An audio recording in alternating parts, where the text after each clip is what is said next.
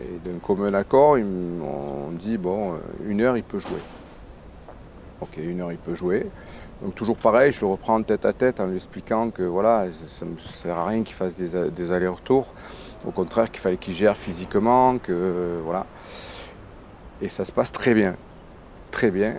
Sauf qu'au moment où je fais le changement, c'est-à-dire que Christophe m'avait dit 60 minutes, euh, je fais chauffer un joueur à 10 euh, minutes euh, avant la, 60, la 50e, je le fais partir, il est prêt à, la 60e pour, pour rentrer. On, demande le changement et quand l'arbitre, le, quatrième arbitre a les panneaux à la main et qu'il va les soulever, Abdou saute, Abou saute, il retombe sur le pied d'un autre et il se blesse. Et ça a été la fin de sa carrière. Et ça, c'est une déception terrible